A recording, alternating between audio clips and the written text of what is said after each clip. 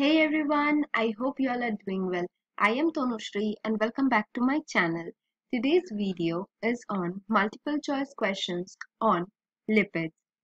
So without making a delay, let's start the video. First question. The number of milligrams of KOH required to hydrolyze 1 gram fat or oil is known as. Options are stereospecific number, iodine value, saponification number, or peroxide value? And the answer is saponification number. Question number 2. Which of the following is our essential fatty acid? Options are linoleic acid, linolenic acid, arachidonic acid or all of these. And the answer is all of these. Question number three, a lipid containing alcoholic amine residue is. Options are phosphatidic acid, ganglioside, glucocerebroside, or sphingomyelin. And the answer is sphingomyelin.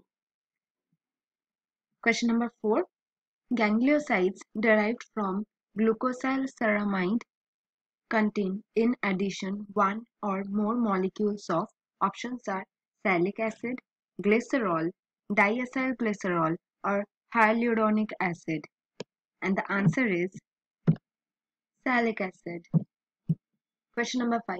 Number of carbon atoms in stearic acid. Options are 12, 16, 18 or 20. And the answer is 18. Question number 6.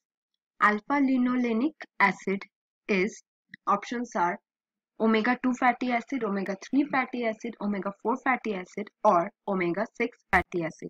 And the answer is omega-3 fatty acid. Question number 7.